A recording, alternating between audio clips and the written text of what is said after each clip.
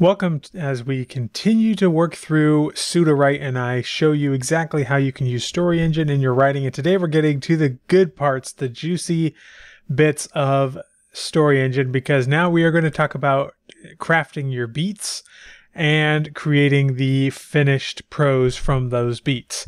And so let's get into it.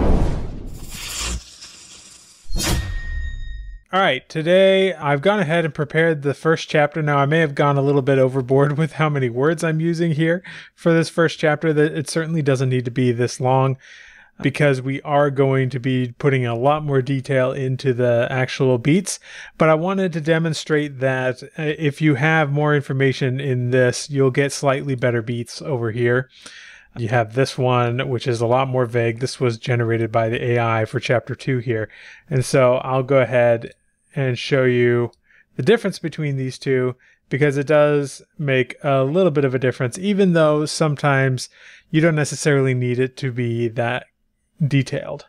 So we have chapter one here, chapter two here. First, let's generate the beats for chapter one, and I'll just go ahead and let Sudowrite do this.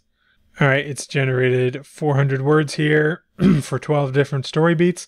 Let's go ahead and generate the beats for chapter two. All right, so for chapter one here, we have begin by describing the settings of the wedding, including the location, time of day, and any noticeable features. Then it adds these specific commands, and you'll notice it do, does this with guardrail, driver, guardrail, guardrail. It has a lot of these things, and these are extra commands that, to be completely honest, I have not found to be that helpful. Most people don't know what to do with them, but if we look here at beat number two, use specific details to show George's nervousness, such as his fidgeting or sweating. Build tension by having George express his concerns about the Fairy Queen's attendance and explain why this is important, and so on. The guardrail is focused on the wedding and events leading up to the wine being served. Introduce Gloriana with specific details such as her appearance, demeanor, and any reactions from the other characters etc etc etc so it's definitely working through the chapter beats that i gave it. And i've noticed it does this a little differently than when story engine first came out. It's now got it into much more succinct commands you know build tension by such and such. And i'm not saying that's wrong but i actually have noticed that a lot of the details that i asked it to give aren't necessarily here I mean, they're here, but there are details in my description that I would want to have in these beats that aren't necessarily here. If we look at chapter two, introduce the newlyweds, their allies, and the settings of the celebration, specify the location, time of day. So it's having a very similar opening prompt as the first chapter, which is interesting. Establish the atmosphere of the celebration through sensory details. Introduce the fairy queen's presence at the celebration. Use dialogue to explicitly state the importance of balance between justice and mercy. So, again, kind of vague, not really helpful. And if I'm being completely honest, I personally would not use the beats that Sudowrite gives you. It can maybe be a okay place to start, but in you know in each case here it gave me 400 words roughly, and you're allowed to up to 2,000 words in your beats. And honestly, I'd say save your words and write it elsewhere. Perhaps write it in ChatGPT or Claude. And tomorrow I will actually be having a video coming out about the differences between ChatGPT and Claude on generating your story beats so you can actually see them side by side and my techniques for creating those story beats. But honestly, I would not use what these have here. However, we're going to go ahead and just go with chapter one here honestly, I'd say these beats, even though the outline I had was much more fleshed out here, these beats, while they did stick to the order of events that I talk about in my chapter summary, much better than anything I could ask for here on the second chapter. And the beats are still pretty insufficient. And so, again, I would honestly just use your own beats and use a tool like ChatGPT or Claude to expand your outline into your beats because it's going to do a lot better in my opinion. And the good thing about that is if you have a scene structure template that you would like to use, you can use that as well. And it's important, I think, to be building these templates as you go because not only does it provide structure to your scene, but it also makes it much easier for, for the AI to, to work with that. So anyway, let's go ahead and just use these beats that we have. So It says begin by describing the setting of the wedding, including the location, time of day, any noticeable features. The guardrail is focused on the wedding and events leading up to the wine being served. And again, guardrail is basically just a command to try and keep it on task. And driver driver can be useful in certain instances when you have like an underlying motive of the person and you want to really establish that. What's the emotion of the scene and that kind of thing? What's driving the action? That's basically what we're using here. Interestingly, here for the second beat, we have the driver being the urgency and stress of the situation as everyone is worried they are about to lose the battle for Earth. This is something I put in my tone way back when, and I should probably take it out because it's going to be coloring the entire thing in this way if I leave it. So I'm actually going to take this out a little bit here. I'm also going to take out the guardrail because I really feel like these things overcomplicate it and you don't need it. All you need is a very detailed description of what needs to happen in this particular scene. Now, for beat number one, I think this is okay actually because I've given it the chapter outline with all of these details about the wedding, the location, the time of day, any noticeable features, and I think I can start with that. I would say start with a line of dialogue because I I feel like every book needs to start with action of some kind. And uh, dialogue is a good way to do that usually. And i could add a whole lot more to this and i would if i were doing this for real. Uh, for instance here use specific details to show george's nervousness such as his fidgeting or sweating. Show that una is calm by contrast. She takes a moment to look at out over the rest of the crowd and we get a description of each one. They are all here. Every ally they've gained so far, other than Prince Arthur, and Una doesn't know where he is. And let's add a little bit about she has a brief worry that maybe it's not a good idea to have everyone in one place at one time. All right, so we now have these two beats. This is probably good to go on for now. We could continue doing this for all four beats, or all 12 beats, excuse me, and you can add your own beats. It doesn't have to be more than, or it can be more than 12. Another thing that a lot of people don't know is that you can add extra details to the beginning of your beats, above the beats. This scene, and I like to put the setting information here, takes place, and I wrote this earlier. This scene takes place in an open courtyard in the once abandoned Castle Cyllene, which they are starting to rebuild. It is close to dusk and it is a beautiful early spring day, or I should say evening. So that establishes the setting. I could even signpost this a little bit with, say, say setting. And then another thing I like to do at this point is just repeat some of the style bits that I feel are most important. Things like avoid mushy dialogue and descriptions. Key, use real, realistic dialogue, and etc. etc. You could add more to that. Use mixed cadence, and there we go. Now we have those that setting and additional style information here. This is also a good place. So let's go to the actual style here and I've got everything listed under third person limited point of view. If I wanted to, I could say third person limited point of view from Una's perspective here. But not the entire book isn't going to be from Una's perspective, just this first chapter is.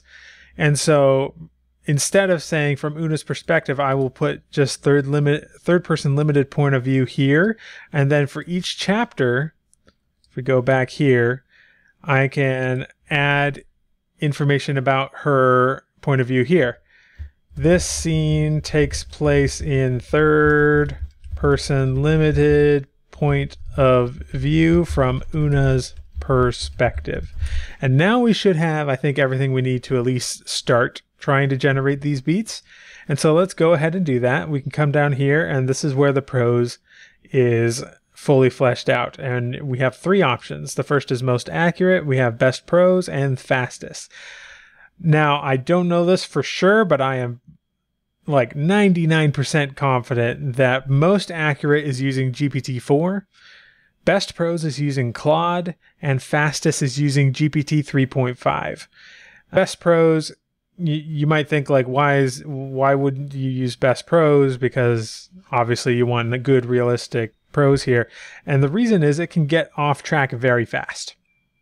But it does produce really good prose, which is a shame. I tend to default to most accurate most of the time because with the right style prompts, you can still get pretty good prose out of it, but it really takes some experimenting and some tweaking to get it exactly what you you want. But if you pick most accurate, it will stick to your beats much, much better. The thing about Best Prose, if you're using this is essentially Claude underneath it, it will write these two first two beats because it processes these things two at a time, and it'll go a little off the rails for these two beats. Then it'll start writing the next two beats, but it will continue from where it went off rather than start with these two beats. And so it will it's already off a little bit and then from there it'll get off even more. And you know it's just like uh, you're turning by a couple of degrees and then a couple more degrees. And so by the end by the time it gets to beat 12 here the beats that it's giving you or the prose it's giving you have almost nothing to do with the actual information here which is a shame because it's it's really good. And hopefully it's something that they're able to improve and we can always keep testing it and seeing if it gets any better. But most accurate doesn't do that as much. What when you're using the most accurate one, what I've found to be the case is it'll stray a little bit at the end, and often you have to delete a chunk from each set of two be- beats, but it'll come right back on for the next set of two beats for like three and four and then stray a little bit at the end, then come right back for five and six, and so on. And so you do kind of have to, at the end of each set of two beats, when you're looking through the prose, you do often have to chop off a chunk at the end for each one, but string it all together and get rid of those little chunks, and it tends to do really well. So let's go ahead and experiment and try what and see what most accurate gives us. And what you can do you'll notice as you get through the beats, you can ask it to pause and it will just finish up the beats it's working on and then it'll stop.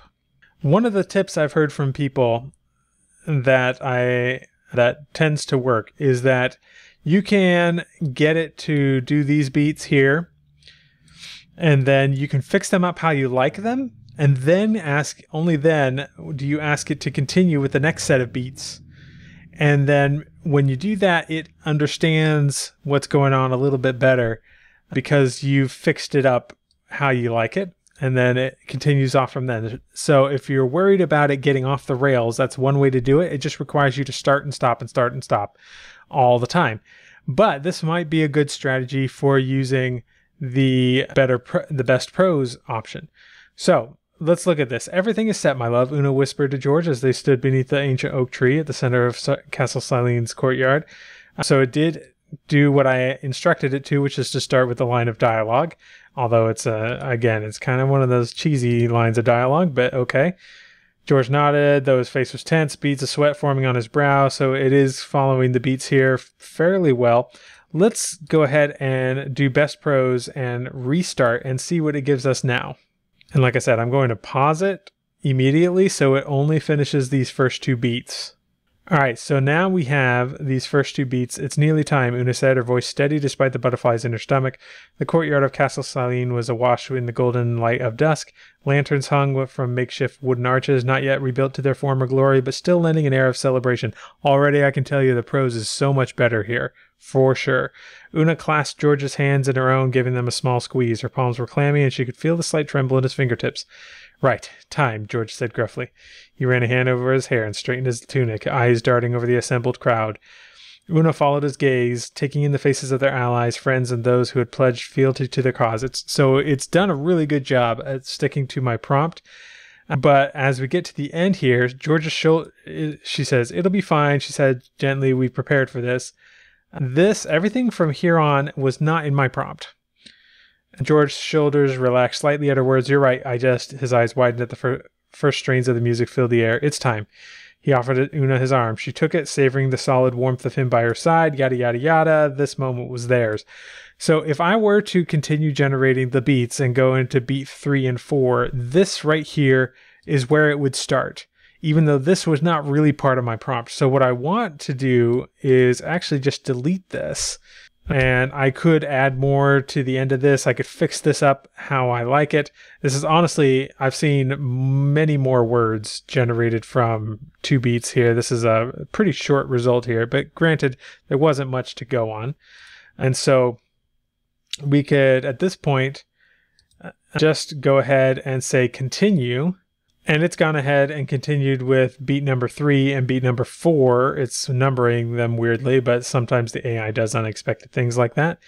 And it's gone ahead and started exactly from where I was. It didn't start from where it could have been. Where so all of that stuff that I deleted, it's forgotten about that basically. Oh, and I need to pause it again. But that's the idea behind this. So if you really want the best results, I would say go with best prose, but if you if you do best prose, you need to be editing it as you go. And understand that because it's using Claude, Claude has a tendency to shorten things. And so you might find yourself having to add a lot more. I found that most accurate tends to give you more detail, more of what you want. And so that's something to consider as well. And you really do need to try both ways. I have found that most accurate can work really well but you have to prompt it very well as well. And so the your beats have to be on point. They have to give you all the detail, everything you want to hear in that particular scene. Your style has to be really really good and then the most accurate should work for you. So that is a little bit of a tutorial on how to use the beats and how to uh, manage the prose that is coming out of Sudowrite. And I'll see you in the next video.